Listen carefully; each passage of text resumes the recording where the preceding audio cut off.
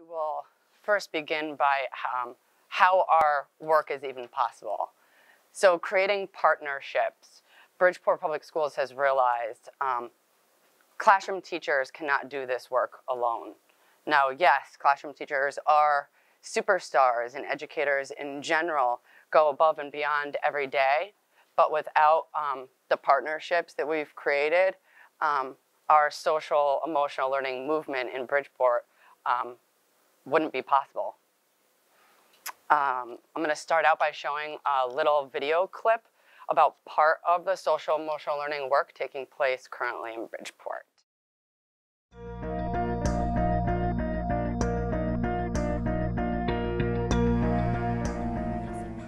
Social emotional learning is the big umbrella and uh, underneath that are many interventions. And one of the interventions that the district has taken on and that began five years ago is the ruler approach. We identified one of the challenges here in Bridgeport is that we are in a very high, um, highly mobile district. We have students that could be in one, two, or three different schools in one year. And so it was very, um, the implementation of the ruler approach was actually very um, intentional, very thoughtful, and very well planned so that we could implement it across the entire district. RULER is an acronym, and RULER stands for R, to recognize the emotions, yours and others. U is understanding the causes of those emotions. The L is to label it. You've got to name it to tame it. Uh, e is expressing. And the fifth, and probably the most important, is regulating. If they can't regulate their emotions, they're not ready to learn academically. Um, so if they come in and they're upset about something that happened at home, they're not ready to sit down and do their work. They need to take a moment and talk about it or take a little break or whatever they need, but they're not going to come in angry or sad and get right to work. We know enough about um, the importance of SEL for students' um, academic performance um, and their uh, well-being in general. Uh, we know enough about that to invest in it. The district uh, developed a social and emotional learning task force, and the task force is really comprised of um, social workers, teachers, administrators, um, school resource officers, as well as community agencies that do work in the school and are part of this partnership. In addition to that, um, each school developed their own um, social and emotional learning team within the school. What we found was that um, it was very important to include parents. We focused on coaching and leadership development through the frame of Ruler. If you're able to recognize your feelings um, and regulate your feelings more importantly, and you're feeling better about what you're doing, that should definitely have an impact on what you're doing. So think about how you're feeling today and why. Then when we're done, we take time in the beginning of the year to really build those relationships with each other, learn how to express themselves with each other, so that you know once they've gotten that piece out of the way, then we kind of focus on the academic piece. And we try and like at this point in the year, we're trying to blend the two. So a lesson might include reading a story and then looking at that character and mapping that character on the mood meter. So they're getting the educational, the academic side of reading comprehension, but we're also tying it into their emotions. It's all about building relationships and connecting with your students. And if you can do that, then they'll succeed. We've seen teachers implementing the core aspects of ruler and seeing improvement on those implementation indicators over time. We've started to see uh, even more uh, reductions in, in school and out of school suspensions. Just by walking into some of the schools that have truly embraced this, you can see a very um, different culture. You see less frustration, less outbursts. You see less disruption because they're fixing a problem and it's not, you know, I'm upset and I'm going to explode. It's, you know, I'm upset and I have the tools to deal with this. Oops, not yet. Not getting as easily upset. It's empowering for them. You know, they feel like, okay, I can stand up for myself in a way where I'm not hitting them back or making the wrong choice, but it gets their feelings out and it solves the problem. The biggest impact that I see is when I see an eighth grader come down to the office to take a meta moment and by sitting in the rocking chair that we have in the office. And so that that's an impact in and of itself. The younger kids will do it, but when you see an eighth grade male come into the office saying, I need to take a moment, and he goes and he sits in a rocking chair and he starts rocking, that is impact. My assessment thus far is that it's, uh, well, first of all, it's grown well beyond what my expectations were. Children that were able to self-report about being able to regulate themselves had one grade point higher um, on their report cards. And students that also self-reported that they were able to regulate had better attendance. These young people coming from K-8 are going to filter into our high schools, reshape the climate and environment that currently um, resides in our high schools. And when people come to our schools and they feel good about themselves and they're honored and validated and supported, then they can do well academically. One of the reasons why I felt it was really important um, to show that video clip is because creating partnerships to help address the whole child is incredibly important. Um, Bridgeport's lucky um, that we had such incredible partners that help us with this work, and each of our partners supported us in a different aspect.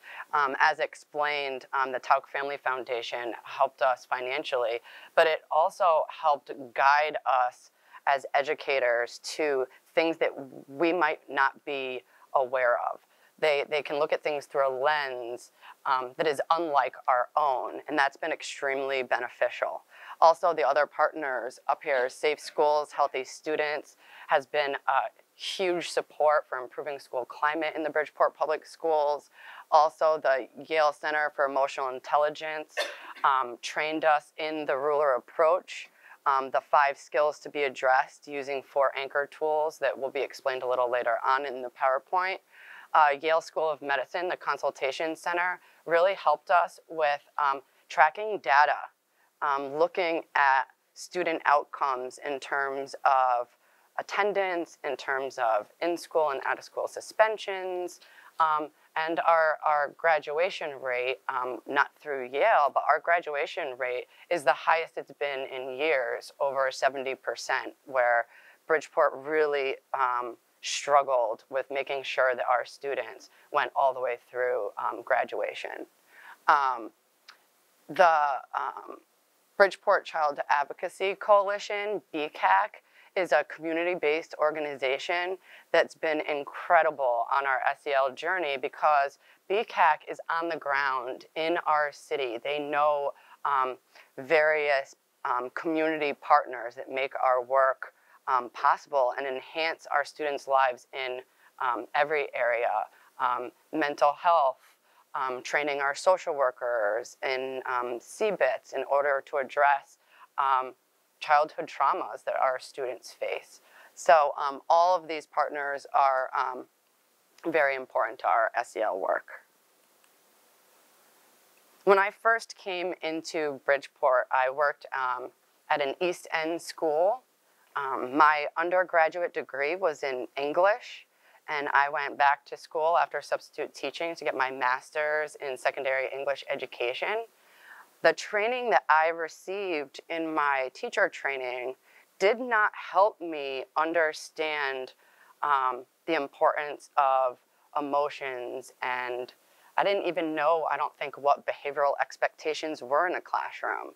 Um, I definitely knew my content area and I knew literature and I was prepared to teach it and my methods and materials class taught me all these amazing things. And when I got into the classroom, I definitely felt unprepared. Um, I connected with my students um, more in a haphazard way because I, because I love them and I love people, but it wasn't done with, with, with intentionality. So um, the first program that, um, or it's actually not a program, it's a framework that I came across was PBIS, or school-wide SW PBIS. And what this looked like at, um, at the school where I was, was showing the students how we expected them to behave in certain areas of our school. And and in order to do that, the students would create posters about hallway expectations, cafeteria expectations, bathroom expectations, because when we were in the classroom, students would share the places that they felt unsafe. And it was not in our classrooms. So when they were in school and they would say, I don't feel safe at school, I was confused by that until these, these um, fears were explained to me by the kids themselves. I realized the importance of the PBIS system, which told me as an educator, instead of looking for things that needed to be fixed or problem behavior that I needed to address, the lens that I should be looking at is what behaviors do I want to promote? And those are the things that I'd give an elbow bump for or a shout out to, to a student like, oh yeah, he's, he's on top of it today. Those little rewards that make every child motivated to repeat or, or consistently partake in the behavior that they, they were recognized for. Um, you'll be hearing a little bit more about PBIS from our district PBIS guru, so I don't want to explain too much about that exposure, but that was really my first experience in Bridgeport um, with looking at behavior as something that I, as an educator, needed to teach and to understand on a deeper level. Our current vision, um, our new superintendent, we just created our new strategic plan. And I absolutely love our strategic plan because our vision is, um, is to have a culturally responsive, high performing learning environment where students thrive academically, socially, emotionally, and civically. And that is incredible. But what does that mean? How do we, how do we achieve this goal? So in order for our vision to become a reality, our students, families, community members, and staff need to increase our own emotional intelligence and cultural competence. And the way that Bridgeport is going about doing this is introducing restorative practices and combining that with the ruler approach. By implementing these, we'll deepen our understanding of each other and our ability to appropriately respond to the cultural variables that make our district and community so unique. Bridgeport, if you have not been to Bridgeport, is a really incredible, amazing place.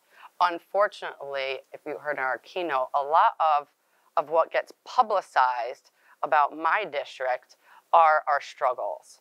And we do have many struggles. And there are lots of reasons for these struggles, but our job as educators is to play with the cards we're dealt. We know that each and every child that enters our school system is capable of amazing things academically, behaviorally.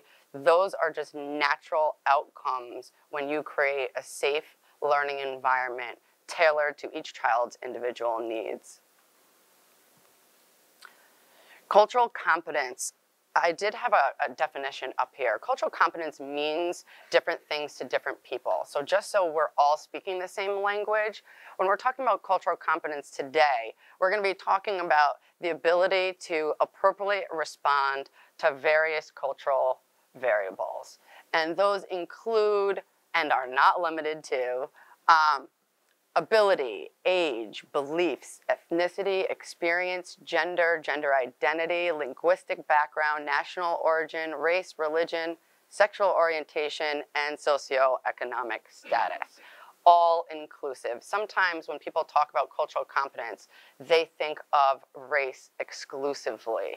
And that is really not the case. And when you look at it through just that lens, you're missing the big, bigger picture. And you're also taking away very important aspects of our children's stories. What they come to the table with is more than just what you may see sitting or standing in front of you. I get this question from my family a lot. Um, I come from a family um, of accountants, and um, they're very numbers driven, and my um, love for exploring literature and hugs doesn't really translate in my own family. So when I explained my new position, coming from a classroom English teacher to the social emotional learning coordinator, of course, I got some pretty odd looks. Uh, what do emotions have to do with teaching, Carrie? And that's when I came alive, because it's everything. All learning is social and emotional. Emotions are incredibly important. They, they drive attention, memory, and learning, decision making and judgment, relationship quality, physical and mental health, as well as everyday effectiveness. And students with learning challenges, this is especially important for them, but it is also important for the adults. Um, I think a lot of times educators forget that our emotions matter incredibly also. Our students are very perceptive. If we are kind of not addressing an elephant in the room when we're dealing with our own personal struggles, our students sense that. Um, if you have a sick pet at home and you don't mention to your students in the beginning of class or walking them upstairs, depending on the age level of your students, oftentimes you, might have somebody from that class say, is everything all, is everything all right? Because they get it. They know us as people, and it is vitally important for us as educators to know them, each and every one of them. Emotional intelligence matters because people with higher emotional intelligence exhibit these things. They have less anxiety, less depression, they're less aggressive, less likely to quote unquote bully other children. They pay more attention and tend to be less hyperactive. They also have uh, greater leadership skills and they perform better academically. Emotions matter a great deal in every classroom, whether you're in a pre-K classroom or you're in an AP physics class in high school. Emotions do matter. At the high school level, level, you may see frustration take a different form, but it's still that same emotion that uh, a preschooler is experiencing when they're struggling to zip up their jacket. That high school student taking that AP physics class, instead of giving up, what do we want them to do? We want them to push through it, seek for other avenues, collaborate with their peers. Have we as educators taught them the skills needed to problem solve? That's part of why Bridgeport is taking such a strong approach in social emotional learning to be able to provide our students with the skills they need um, to grapple with difficult things that they're going to be experiencing for the rest of their lives. The ruler approach is the second form of kind of social emotional learning that I was exposed to. So my first experience with PBIS was showing the expectations in the various places, classroom, hallway, um, bathroom. Then about five years ago, um, a partnership between the Yale Center for the Yale Consultation Center and the Yale Center of Emotional Intelligence came to Bridgeport and trained um, first at the district level and then um, cohorts of teachers. If you remember in the video, it said each school created an SEL team. That was very necessary for the rollout of our work. And I'll explain why. That SEL team made up of an administrator, a clinician, as well as classroom teachers, provided um, each school with a resource required to provide teachers, families, and students training, ongoing training and support at each school. The district realized having um, district personnel trained is definitely important.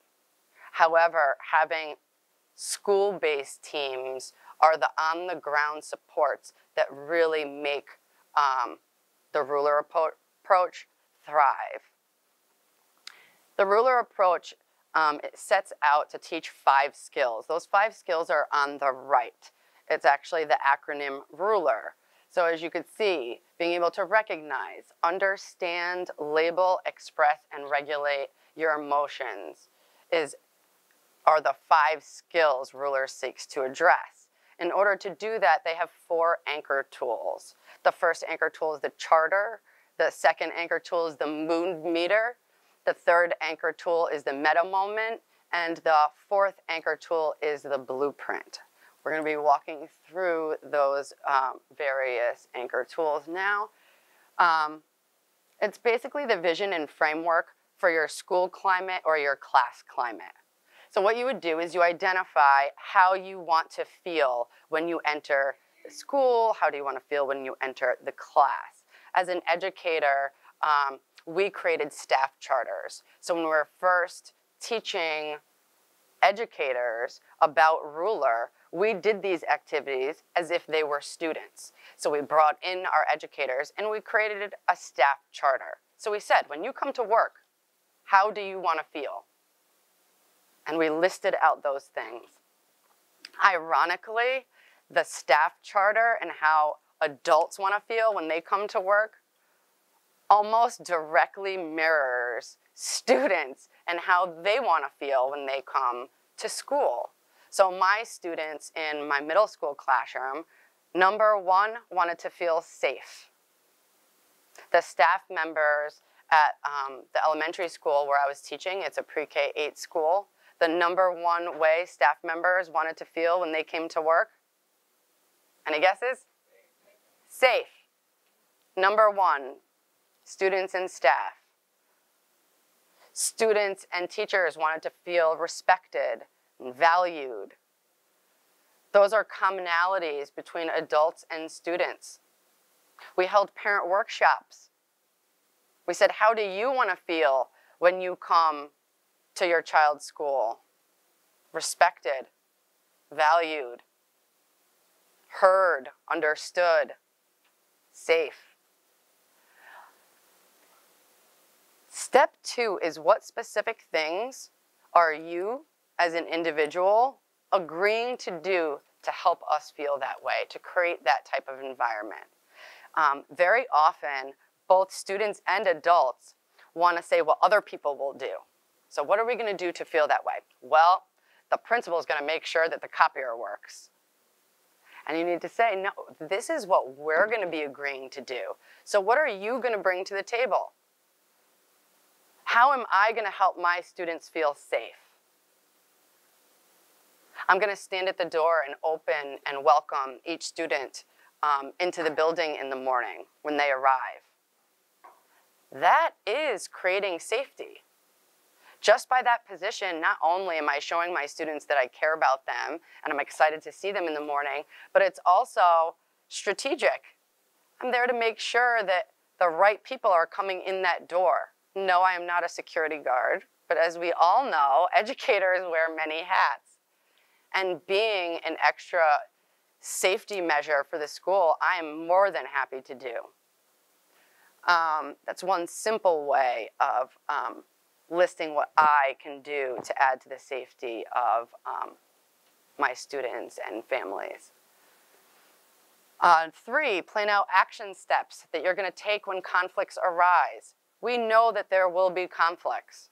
What are you going to do ahead of time to be proactive when these conflicts arise. If I hear somebody gossiping about me, am I going to turn to my group of friends or colleagues even and start talking about that person? No, if something needs to be addressed, one thing that I might agree to when conflicts arise, I, I agree to address the problem or the issue directly. Oftentimes, educators spend times in the teacher's lounge not being very productive or not addressing a problem head on.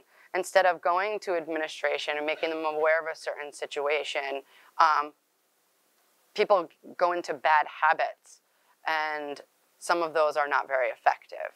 So, agreeing and making a conscious effort as the adult what am I going to do when conflict arises? And then list out those things. That's creating a charter.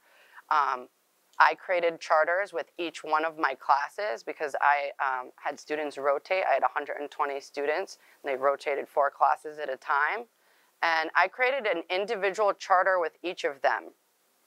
Because unlike a, a list of rules, even if I create those rules with the kids, which I always used to do, now I create charters with them.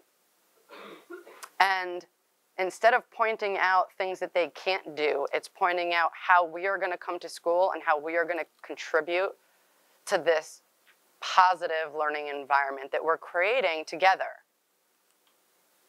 The mood meter is the second anchor tool that um, Ruler uses. And um, if you follow along the, I'm gonna, I'm gonna try to do the pointer and bear with me. Um, oh, yay, it worked. Um, if you follow all along the x-axis, moving from left to right, um, it shows how pleasantness increases. And this y-axis is energy, so low energy all the way to high energy. The, um, creating four boxes or quadrants. Um, this mood meter is um, designed to help students um, recognize and label their emotions. So if I said, um, how do you feel this morning? And the, the student was really excited because we had a debate and they were really well prepared for it and they knew they were just gonna crush it. And the student's like, oh my gosh, miss, I'm so excited. Where would you put yourself on the mood meter today? So the student was excited. Maybe they're very pleasant. They might say, oh, miss, I'm, I'm a 4-3 today. And for a debate, being in the yellow at, at a 4-3 is a pretty good thing. In debates, you want to be high energy. Um, depending on the topic, you might want to be really, really positive. Clearly, this student felt prepared for this debate, or those might not be the feelings that they were feeling coming into school that day. Let's say that child instead had a really rough night their little brother ended up having to go to the emergency room from a severe asthma attack.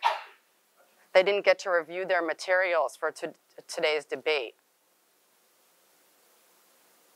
When that child comes into their room on debate day and they go to plot their, their feelings on the mood meter, it's going to give me a huge clue as an educator. They're going to come in my door. I have this poster set up. I have solo cups, one in each box. And when the child who had that rough day comes in and puts themselves over here or here on the mood meter in the red or the blue depending on energy level because we might be really tired from that late night. But we could be higher energy depending on our if our nervousness is increasing our energy levels and making our heart pound and our hands shake depending on where that child plots themselves, without even speaking a word, I know that I need to check in with that student. And I don't teach preschool students. I taught at the high school level and at the middle school level. And this is very important for adolescents.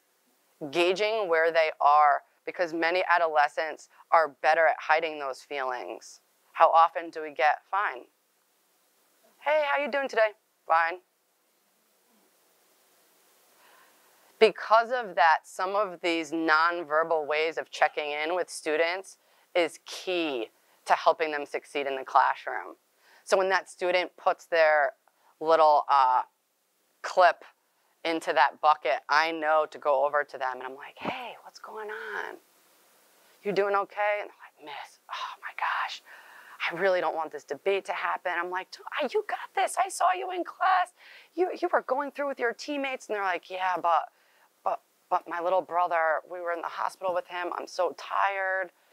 And we have a number of, of ways to work this out.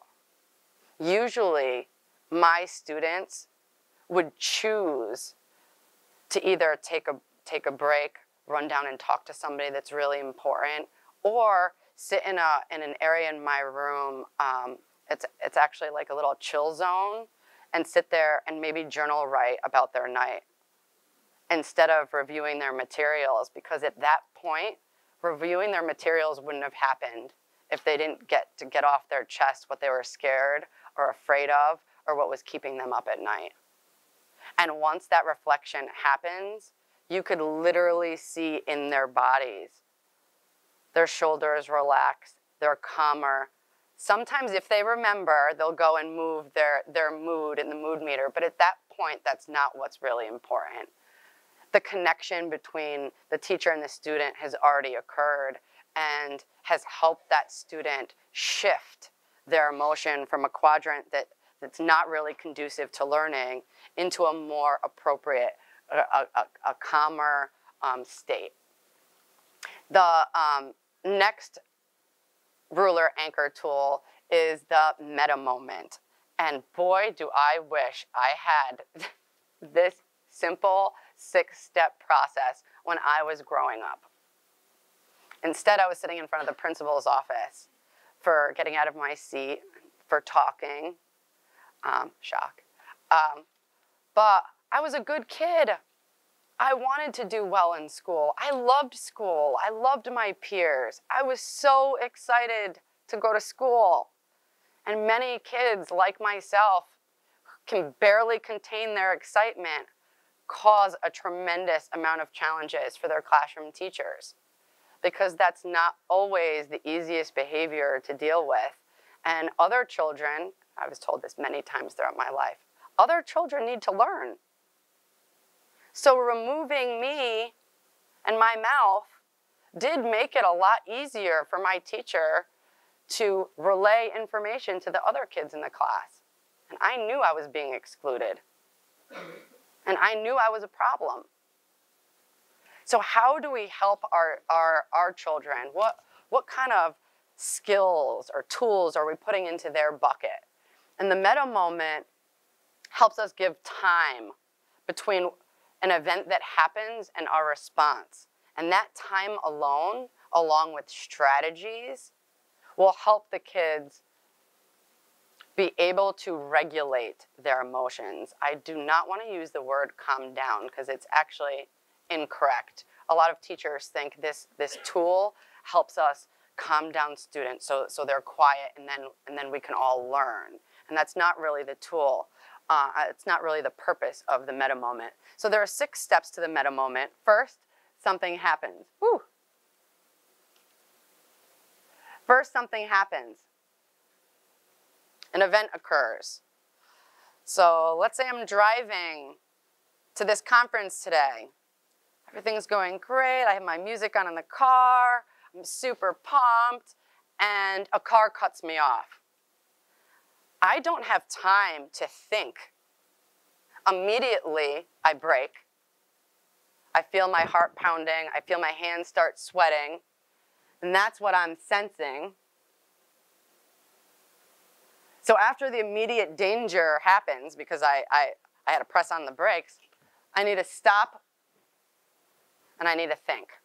Because I have a couple, a couple things I could do here. I could slam on my horn and start saying obscenities that fly through my head. Or I could picture my best self. And I could think, I've made mistakes when I was driving before. I've accidentally cut people off before. Everything that happens is not necessarily intentional. So, what strategies am I going to use to calm down, to settle my heart rate? I'm going to possibly do some deep breathing. I do that often when it's snowing. I do not like driving in the snow. Some calming strategies or the reframing that I did before, saying, Carrie, this was probably a mistake. You've cut people off accidentally before. Don't get too upset. And when I use those strategies, I can be successful. So, what does successful mean in this six step process? Does it mean all the problems in the world are solved? No, of course not. But it means I was my best self. I was able to portray something that I'm proud of. I didn't react inappropriately by following behind this car, flashing my lights, and honking the horn for the next 20 minutes. That kind of toxic stress is bad for us. Bad for us as adults. And when students experience toxic stress repeatedly from not being able to regulate their emotions or the things in their environment, it has some very serious health consequences. So it is important that we teach these students a variety of strategies and that we teach educators and parents and community members a variety of strategies because students see what goes on around them and it's important that we as adults are modeling what we expect. The last anchor tool that Ruler um, uses is called the blueprint. So instead of that typical, why'd you do that? You don't start with why, because very often uh, our, our kids, our students, can't tell us why. So saying what happened. What happened? What caused my feelings? How did I express or regulate my feelings? And what could I have done to handle this situation better then? And what can I do now? Those things are very important. And it reminds me of, uh, of a book called Zach Gets Frustrated. In this book, Zach is the main character. I've used this book to teach the blueprint to the students. Zach's the main character. So the kids need to identify how did Zach feel in the beginning of the book? I'm giving you a little background. Zach was at the beach with his family and he was trying to fly a kite. And unfortunately, the wind wasn't picking the kite up and the kite kept crashing down and landing in the ground. So Zach stomped over to his dad. He's like, Can we leave? His dad was confused because he didn't really understand. Zach liked the beach. So what's going on? Zach had to name the fact that he was frustrated. He learned how to name that. Then he learned strategies to tame that frustration. And at the end of that book, he learned how to reframe it or learn how to see what he could have done differently. His dad taught him strategies, some deep breathing, some meditation, which are also strategies that I use in the meta moment and many of our teachers implement in our classrooms. Couple, coupling the ruler approach with restorative practices is extremely important. The whole premise of restorative practices is to build positive relationships. That is key to restorative practices. In fact, 80% of the time, restorative practitioners spend building those positive relationships. They build those with their colleagues. They build those with their classroom. They build within their classroom. They build those with parents. The first phone call of the year about how excited you are to have their child in your class or an activity they did really well. Those positive connections are incredibly important. Circles build relationships and help create a sense of belonging. They're fundamental to creating a restorative climate because every single person is seen and heard. Everybody's valued. Nobody is more or less important than the other. This can be a tough switch for a lot of educators. Educators are used to a hierarchy. In fact, many areas of our society follow that hierarchy mentality, just like our military and just like our prisons. In our schools, we need to rethink those ideas because that doesn't always work. Somebody telling you what to do all the time isn't effective. We're doing something wrong. So the restorative framework teaches us to do with. There are high levels of support in this process, and there are very clear consequences. Many educators think restorative practice doesn't hold students accountable. And in fact, it holds students and educators more accountable. Having the support there for both, for all parties, is very important also. Circles are a safe place where we can build off the ideas of others, question, wonder, reflect, realize how our actions impact others, whether that impact is intentional or unintentional.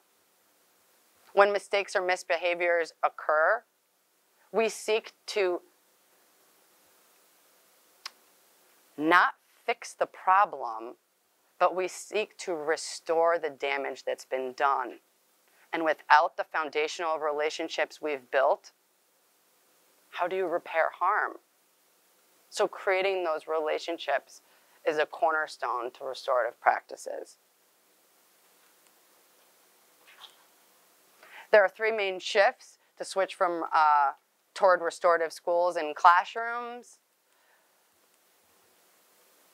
Efforts to suppress misbehavior based on a view that it's uh, failing students or classrooms. It's very common, you know, to being able to recognize and using the inherent value of misbehavior as an opportunity for social emotional learning and growth.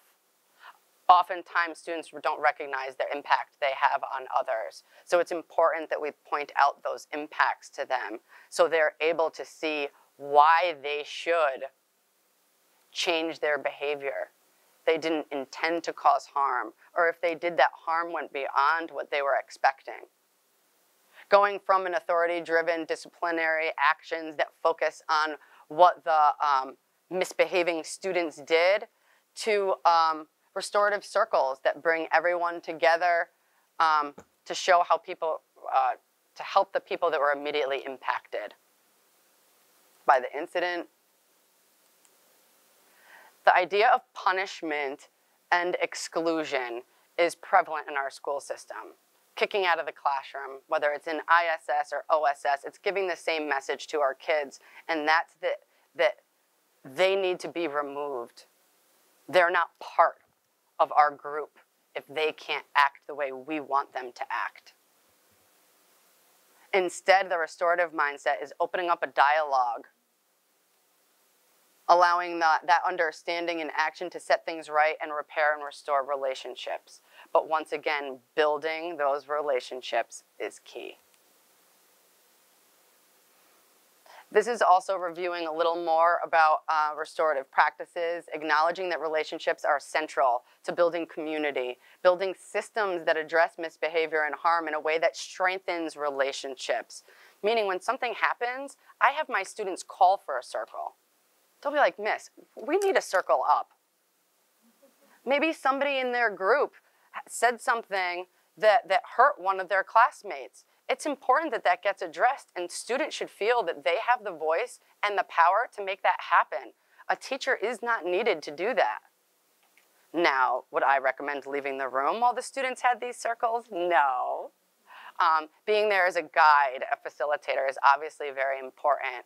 Um, but giving students autonomy um, I feel is extremely effective. I've seen first graders call their own circles, and by God, it was the cutest thing I think I've ever seen in my life. Um, probably because I'm used to older kids, but I just really didn't think they were capable of doing that on their own. And they're six, and I saw a student call for a circle because somebody called um, this, this little girl a big fat potato chip, and she wasn't having it. And she said, "We need a circle." And I said, "Okay, call call the circle." And they all circled up and she explained why that hurt her feelings and they went around sequentially, one of the types of circles that restorative practices use. And they explained times where, where names have hurt them, times that they have used, um, called somebody a name when they shouldn't have, and what they could have done differently. Um, giving voice to um, the person harmed and um, making sure that we're aware that the quote unquote victim might not be the only person harmed. Oftentimes, harm expands beyond who we in, intend that harm. So if I, if I um, threw a desk because I was mad at my teacher, um, another classmate in that room who may be dealing with domestic violence at home might not say anything, but that, that impacts their learning to a great degree. And until that circle happens, you may never know how other people in your classroom are affected by some inappropriate behaviors. And the child who's causing those inappropriate behaviors may also not be aware of the effect they're having on their classmates. Restorative justice and restorative practices are very similar, but it's important to make some distinctions between them. Restorative um, justice is a way of thinking about conflict. Whereas restorative practices set, a, um, set some protocols that help build community and relationships, and it's not centered around conflict. Remember, 80% of the time in restorative practices, it's about positive relationship building. Um, through academic instruction, I circle up with my kids to teach um, all types of literature using a fishbowl in academic instruction, um, allowing for dialogue and discussion um, is very important. Um, restorative justice, a process, process by which parties with a stake in a particular offense resolve collectively with an aftermath of offense implications going forward. Restorative justice has a set, um, there are set procedures in place that take a trained practitioner in order to, um, to hold a restorative justice circle properly. Um, so that is not what every single educator in our district is learning how to do. We're looking at restorative practices where we can work in restorative ways by getting to know each other, um, not separate from academic instruction, but with academic instruction, where we actively listen to one another and teach students what active listening is, um, explain that in certain cultures like ours, eye contact and looking at the uh, looking at the person speaking in terms of body position, facing the person speaking are signs of respect, even though in some cultures that's not the case. So making sure that norms are explained and cultural expectations are explained in certain environments, having students share how their culture may differ and then you might decide to create different norms. So maybe there will be another way that you're showing that you're being an active listener.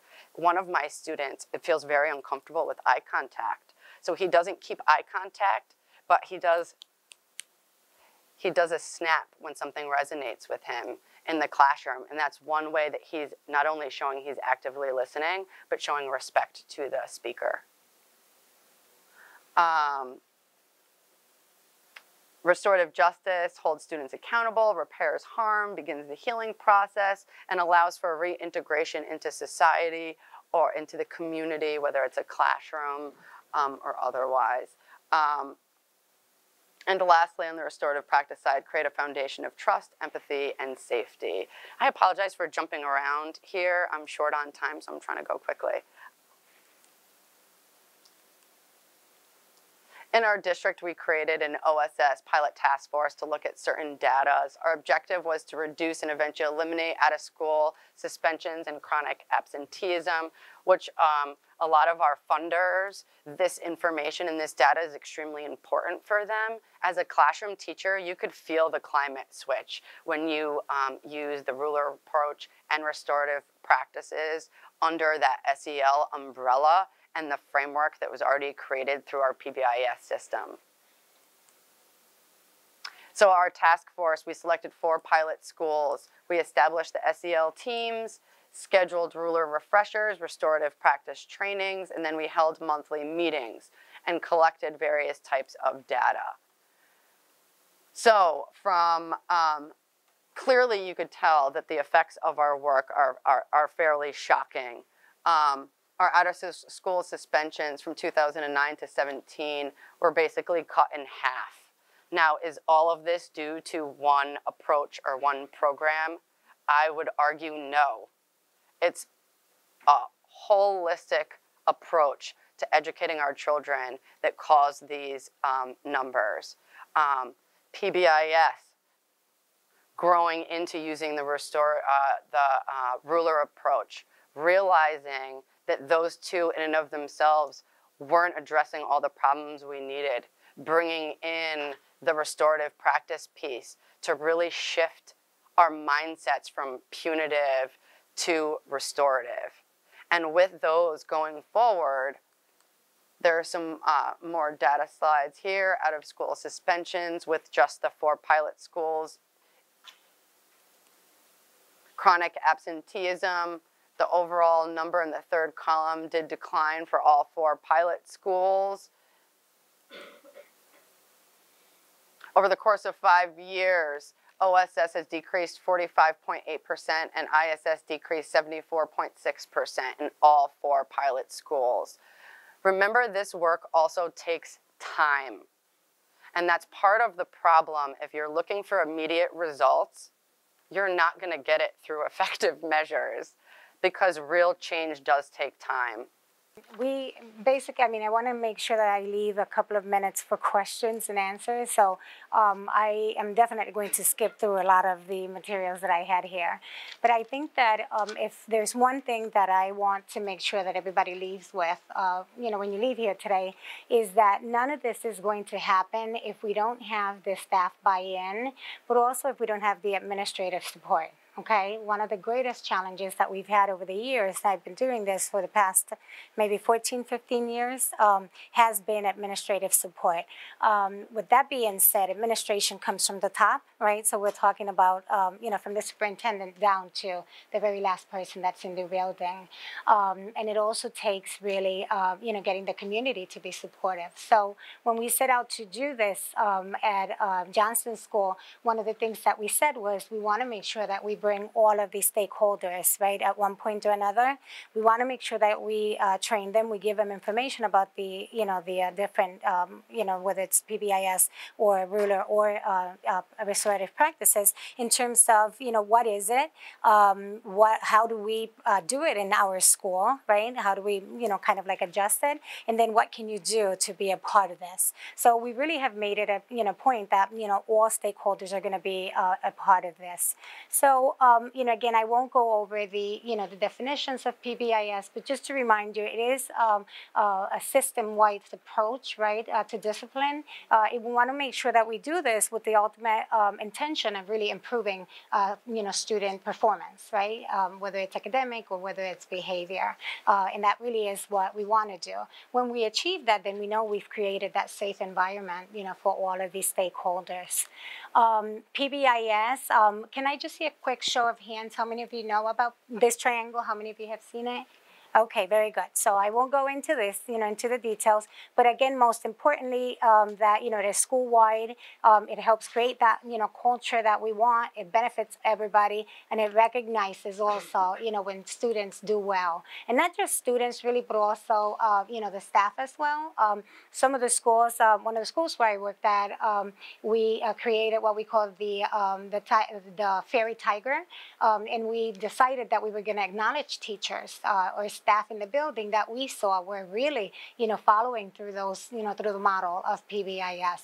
And so we had different things like, uh, you know, uh, uh, supplies for teachers, right? Things that you would normally have to buy yourself. And so we made sure that we had those. Um, and then some of the schools, the school, this particular school, Johnson School, is very good at providing um, staff with the, you know, what the resources that they need. So it's sort of like, you know, ask and you, you know, probably get it. Um, so one of the things that you know we wanted to uh, quickly just share is in terms of the grant under the Safe Schools Healthy Students grant.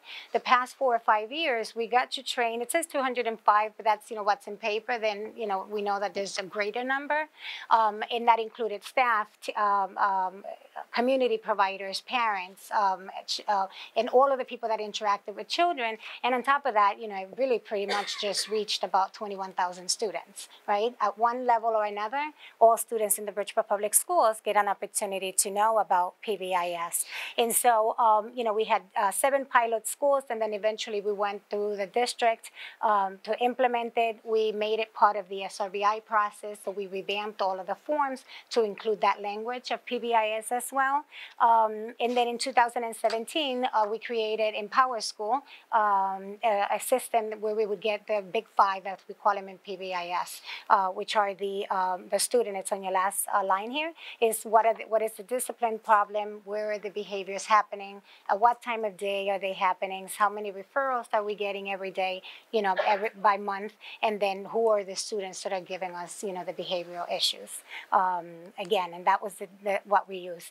The foundation at Geraldine Johnson, we are the Johnson Tigers, and so our um, expectations are uh, tolerance, integrity, generosity, empathy, responsibility, and self-control. And you see that it, you know, basically says Tigers. So we have T-shirts. You know, we have different things. You know, very comfortable environment where we have T-shirts that have these logos. You know, um, stuff on the back, and we walk around the building. The kids have those T-shirts as well. So it's kind of like you know, again, embracing the whole idea um, of these. You know, the PBIS and the social emotional learning. So we, uh, you know, on top of the behavioral expectations, obviously, we did the things that we know are necessary. We created a behavior matrix. We did a, uh, uh, behavior basically uh, matrix, which basically lists the different locations and the expectations and what is it that we want them to do. The cool tools, which are the teaching tools, right? These are what teaches the kids, right? The students, what we are expecting them to do. We have acknowledgement system, and there everybody calls them differently. We have what we call the Principals 100 Club. Um, then we created a rule violation system, right? Basically, we, uh, you know, kind of, the, it's not just um, uh, reinforcing the students for the good behaviors, but it is also getting them to understand that there are consequences for your negative behaviors, right? And so we created that, which is the office versus classroom managed behavior. Then we are, you know, big in, in getting parental involvement, and we do a lot of celebrations. Just this past week or two, when it was uh, teachers, um, we had an entire week of celebration, and this is coming from the administrators. So when I talk about administrator buy-in, uh, um, any administrators here today? Yes? Okay, great, great. Okay, awesome. So you guys are key to the success of any of these, um, you know, approaches or frameworks, okay? Without you, this is really not going to be successful at all. Um, and at least I speak from experience, right? So we had a school uh, climate night um, at Johnson School, and that, you know, again, comprised the three different, uh, you know, framework and approaches. And we brought the parents in with uh, students, and we had three different stations. First, we talked them, to them in general.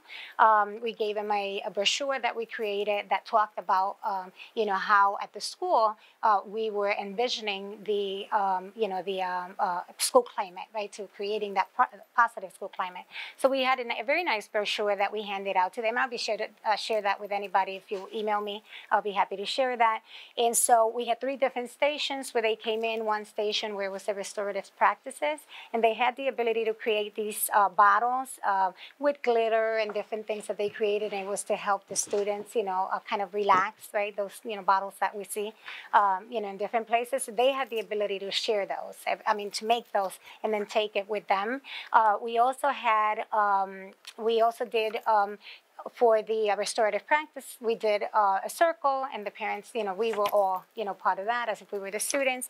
And then for PBIS, we they all had the opportunity to create a um, a behavior chart for home. So I taught them, I gave them the, uh, you know, the information, and then helped them process that so that they could take it home. Because again, we want to make that connection between school and home, and so we felt that that was one of the ways we could do that. Um, and they enjoyed it very much. You know, very good participation, and um, uh, and it was something, you know, it was hand they had things that they could take home with them and continue this. Tell me the time again. Okay, so uh, let me see quickly because we have to. I have to give you enough time. So these already she, you know, covered. Uh, Carrie covered. Um, so I would have gone into a lot more detail, but that it's okay. Um, we have at the end, you know, we have our email addresses. Um, I can give you my phone number, probably Carrie too, um, and uh, we'll be happy to answer, you know, any other questions um, that you may have. So at this time, I will leave it up to, um, does anybody have any questions that we can answer for you right now? No questions? We did that great of a job? Okay. Um, approximately how many staff members are in the Bridgeport system? Um, I think it's over 3,000 as far as I, yes. It, I mean, staff members within the schools, because then we have, you know, a whole lot of people outside. Right, right, right, right. Yes. Uh, for Bridgeport, I, am in Stratford, uh, and I'm sure you experience by my experience uh, the parents that you really want to talk to. Mm-hmm. are nowhere to be found. Uh, did you engage those types of parents, and if so, how? Um, I would say yes. Um, and I think sometimes reaching those um, parents that tend um, not to come when you need them to, you need to kind of be um, kind of be tricky. So throwing throwing events, we had uh, like a, a, field day last year where we enlisted parents um, to come and help us. So we had uh, like a dunk tank or the jumping things, things that parents might want to do. We had a barbecue where we grilled for the parents.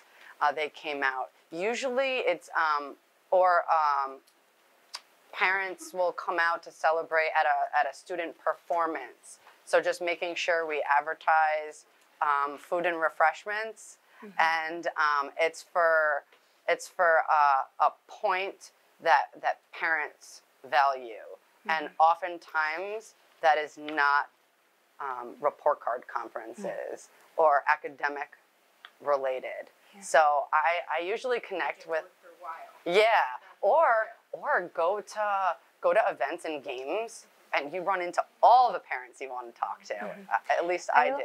I also think yeah, I also think too that um, we uh, remember the triangle, how we talked about the 80%, the, the 15%, and the 5%. That also applies to families. Just like we know there are staff members who won't buy in, there are, you know, you know, perhaps that 5 to 10% of parents who don't, you know, get to to come in. So I think that you know those are where we have to put most of the effort into. So we can do, you know, all of these wonderful activities for these parents, but then, you know, providing training perhaps on what are the issues that these, you know, families are dealing with, right? Uh, and it's not just behavior. I mean, we have families, you know, struggling financially or with, you know, housing or with, so bringing those resources into the school so that the parents are aware, right, of what are the things that we can actually do to help them and to work together. Um, so, and then, you know, I mean, unfortunately, we will always have, you know, some families or some teachers or some students who, uh, not teachers, excuse me, some staff, right, um, or some uh, students who will not, you know, um, you know, be as successful as we wish they would be. Uh, but again, I think it's putting forth the effort more so into those families. And, and making that first contact a positive one. Yes.